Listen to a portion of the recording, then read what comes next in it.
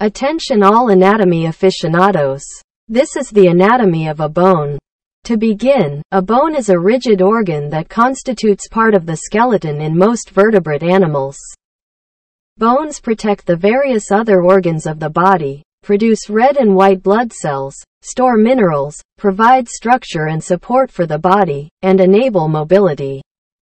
Bones come in a variety of shapes and sizes and have complex internal and external structures.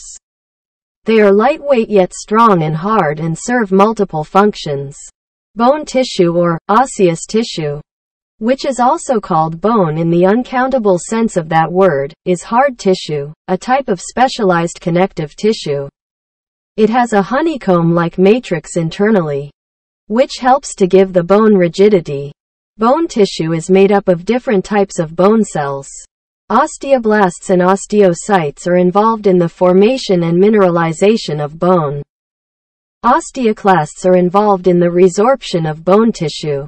Modified, flattened, osteoblasts become the lining cells that form a protective layer on the bone surface. The mineralized matrix of bone tissue has an organic component of mainly collagen called ossein and an inorganic component of bone mineral made up of various salts. Bone tissue is mineralized tissue of two types, cortical bone and cancellous bone. Other types of tissue found in bones include bone marrow, endosteum, periosteum, nerves, blood vessels and cartilage. Excuse me. Please comment about any good bone-breaking stories. Continuing. In the human body at birth, there are approximately 300 bones present. Many of these fuse together during development, leaving a total of 206 separate bones in the adult, not counting numerous small sesamoid bones. The largest bone in the body is the femur or thigh bone, and the smallest is the stapes in the middle ear.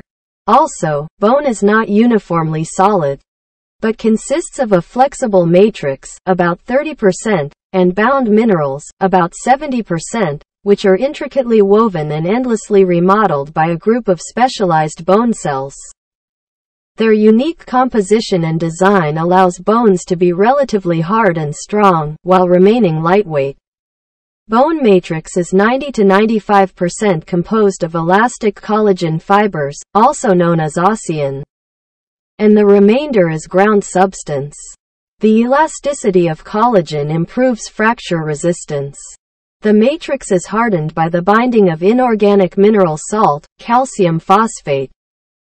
In a chemical arrangement known as bone mineral, a form of calcium apatite, it is the mineralization that gives bones rigidity.